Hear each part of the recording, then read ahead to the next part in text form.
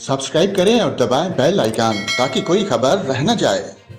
और नाजिन, आपको बताएँ, पंजाब के स्कूलों में हफ़्ता के दिन की छुट्टी का ऐलान कर दिया गया। वज़ीर तालीम, पंजाब राना सिकंदर का कहना था कि टीचर्स की आसानी के लिए हफ़्ता के दिन को हफ्तावार छुट्टी करार दे रहे हैं।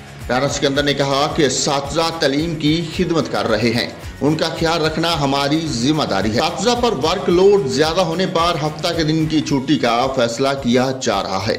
वज़ीर तलीम पंजाब का कहना था कि स्कूलों में पीस से जुमा तक तदरीसी औकात कार बढ़ाए जाएँगे।